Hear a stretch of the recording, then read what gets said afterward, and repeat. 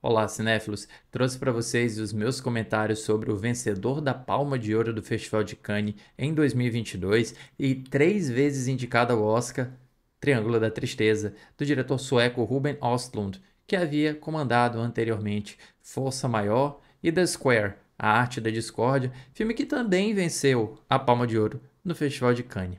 Ruben Östlund tem um senso de humor atípico e muito eficiente para discutir a masculinidade tóxica, a arte pós-moderna e as hipocrisias da classe mais rica e chula. Com um talento cada vez mais raro de enxergar a narrativa além da linearidade de sequências que apenas tentam obedecer princípios de causa e efeito, Ruben Östlund é um arquiteto de sequências que nos conduzem ao inesperado, ao alegórico, ao surreal, como se seus filmes fossem grandes instalações de arte moderna com o princípio de discutir a nossa experiência humana em tempos contemporâneos e que se comunicam com muita clareza com o espectador de hoje em dia que consegue perceber por detrás dessa aparência de filme de arte, filme cult, uma expressão do que o diretor mais repudia, do que o diretor mais se incomoda na vida contemporânea. O roteiro, indicado ao Oscar de melhor roteiro original, ele já inicia com entrevistas feitas com modelos masculinos em que há uma crítica predominante ao sexismo que há na indústria, em que as mulheres ganham menos para fazer as mesmas coisas e ainda se submetem ao abuso ou assédio sexual de quem está no poder. Como é de praxe na obra do diretor, a crítica nunca é simples. É direta, é ácida, é sarcástica, irônica inclusive aponta o dedo para todas as pessoas que participam dessa grande engrenagem desse mundo dito politicamente correto,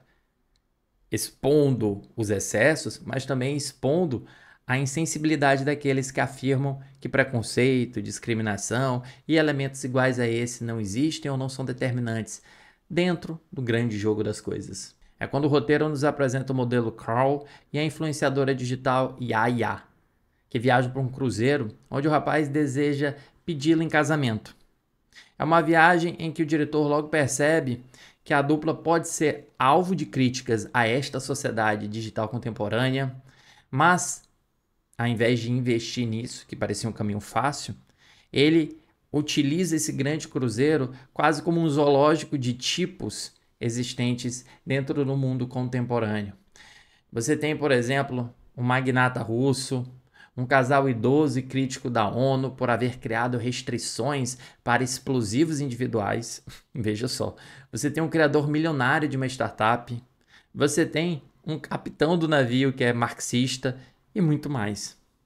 Esse grande zoológico de pessoas que participam da elite é uma grande alegoria em que cada personagem representa uma ideia e também um indivíduo concreto exemplificando as formas como a classe dominante subjuga a classe trabalhadora.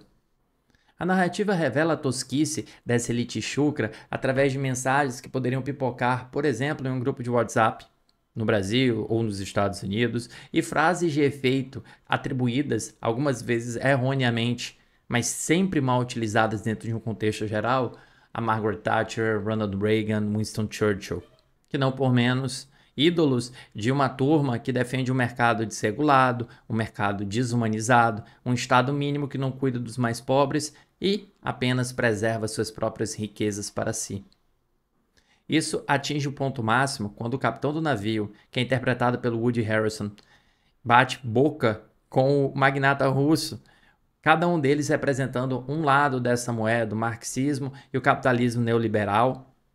em que você tem simplesmente trocas de frases de efeito, trocas de acusações, mas em nenhum momento nenhuma proposta construtiva para modificar a sociedade. E faz sentido, portanto, que o diretor Ruben Östlund use a escatologia, use o humor de banheiro para revelar literalmente a podridão, a sujeira dessa turma.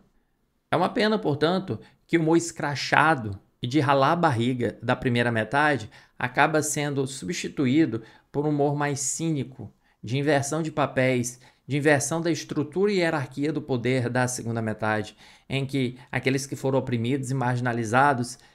ascendem ao poder e fazem com aqueles que marginalizavam e oprimiam as mesmas coisas que sofriam. Sabe aquela frase de Paulo Freire em que, quando a educação não é libertadora, o sonho do oprimido é se tornar opressor? Bem, Triângulo da Tristeza faz isso de uma maneira clara, de uma maneira expositiva até, e de uma maneira que sempre tenta expor ao espectador o poder da comédia como mecanismo de discussão do mundo contemporâneo.